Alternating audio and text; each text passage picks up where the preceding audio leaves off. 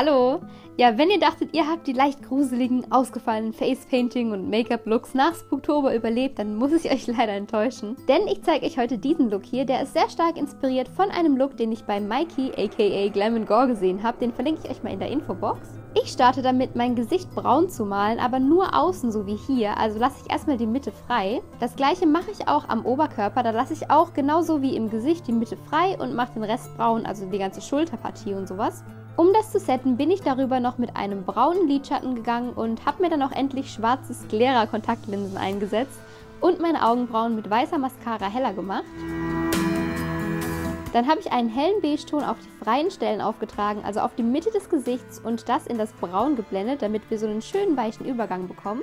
Als nächstes habe ich meine Augenbrauen mit einem hellen Braun nachgefahren. Ich wollte die nicht weiß, aber eben so ganz hellbraun haben wie hier. Als nächstes habe ich meine Nasenspitze rot gemalt und auch ein bisschen mit schwarz gearbeitet, da ich ja Rudolf bin und kein normales Rentier, musste die Nase rot sein. Ich habe außerdem noch eine dünne Linie von der Nase zum Mund gezogen und die Oberlippe mit schwarzen Lidschatten so ein bisschen verdunkelt. Mit Braun habe ich dann auch noch die Nase so ein bisschen ja, breiter konturiert, würde ich mal sagen. Auf dem Lid habe ich schwarze Cremefarben aufgetragen und die auch gleich mit schwarzen Lidschatten gesettet.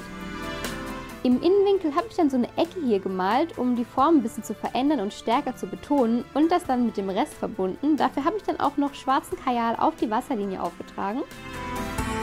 Zu Dekozwecken habe ich jetzt noch hier und da so ein paar weiße Punkte aufgemalt. Ich glaube, die meisten Rentiere haben keine weißen Punkte, aber seien wir mal ehrlich, das sieht irgendwie hübscher aus, finde ich. Also habe ich das einfach trotzdem gemacht. Künstlerische Freiheit, okay. Das Ganze habe ich am Oberkörper natürlich auch gemacht, logisch, ne? Da pinke Haare jetzt nicht unbedingt super zu einem Rentier passen, habe ich mir noch eine braune Perücke aufgesetzt und schon war dieses etwas andere Weihnachts-Make-up fertig. Ich verlinke euch jetzt hier rechts mein letztes Video und meine LM Xmas Playlist mit allen weiteren Videos aus dieser Reihe. Wir sehen uns dann am Dienstag nochmal zu einem letzten LM Xmas Video. Ich hoffe, wir sehen uns da.